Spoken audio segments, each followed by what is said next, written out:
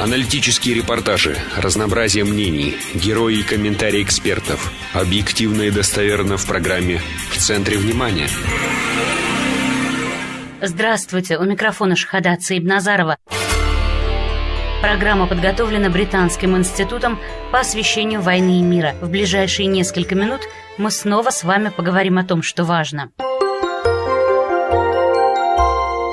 Предпринимателям в Таджикистане становится все сложнее работать в стране. Более 22 тысяч индивидуальных предпринимателей прекратили свою деятельность в Таджикистане в этом году. Массовый исход связан с низкой платежеспособностью и большими налоговыми поборами. Мехрангес Трусанзаде продолжит тему.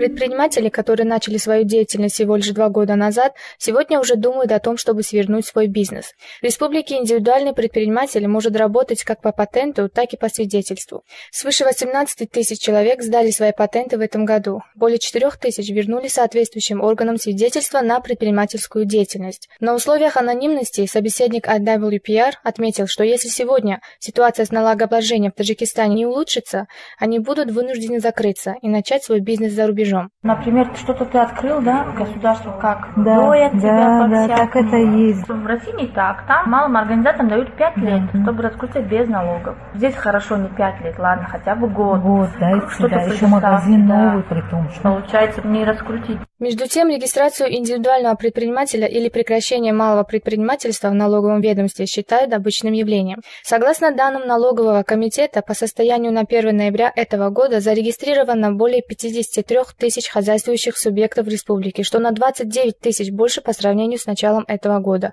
отмечает пресс-секретарь налогового комитета Махбуба Усмонова.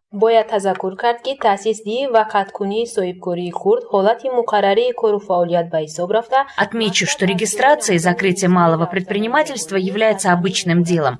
Цель внедрения единого окна являлась в том, чтобы наши предприниматели могли спокойно в любое время зарегистрировать или прекратить свое дело.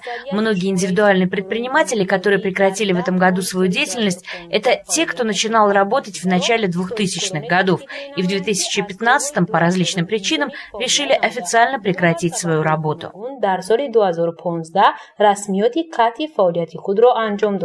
Экономист Самиджан Насирджанов считает, что основными причинами сворачивания бизнеса и ухода предпринимателей в тень являются высокая стоимость таможенных пошлин, повышение налогов, уменьшение доходности бизнеса и падение покупательной способности населения. Население нет денег, потому что основная масса денежных средств, которые поступала им, это были переводы трудовых мигрантов. Так как переводы сократились, уже покупательная способность населения уменьшилась, упала. Если упала покупательная способность, значит бизнес, он не может существовать, если него не будет продаж. Из-за этого упали объемы продаж, и те постоянные расходы, которые имеет предприниматель, они в результате не покрываются его доходами. Поэтому они принимают решение, чтобы сворачивать бизнес и закрываться. Алишер Сабуров, эксперт по экономическим вопросам, отмечает, что государственные аппараты усиливают давление на бизнес, в то время как, согласно теории предпринимательства, бизнес уходит туда, где удобнее работать. Он отмечает, что сворачивание бизнеса – первый признак того, что в будущем наше экономическое положение может быть еще хуже. По-моему, именно сейчас необходимо создавать условия для бизнеса, сделать привлекательным предложение работы даже в трудных условиях, сохранение бизнеса, сохранение рабочих мест, сохранение сохранении какой-то стабильности для народа. Это гораздо важнее недополучения штрафов и налогов. Причем возможность их получения сохраняется. Между тем, Фарход Абдурахманов один из немногих, кто решился во время экономического кризиса открыть свой бизнес в стране, у него спа-салон.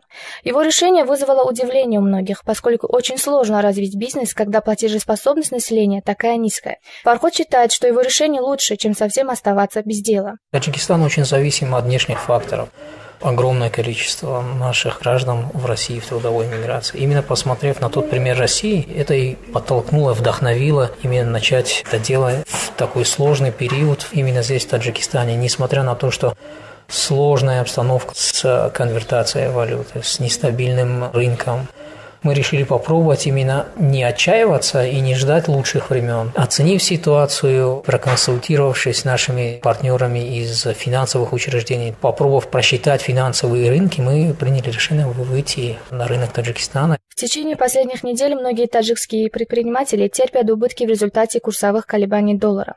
Таджикский самонет стремительно падает, пункты обмена валюты закрыты, в банках купить доллары по выгодной цене невозможно. Вот и приходится людям экономить деньги в ожидании более тяжелых времен, говорит предприниматель Нудира Хусейнова.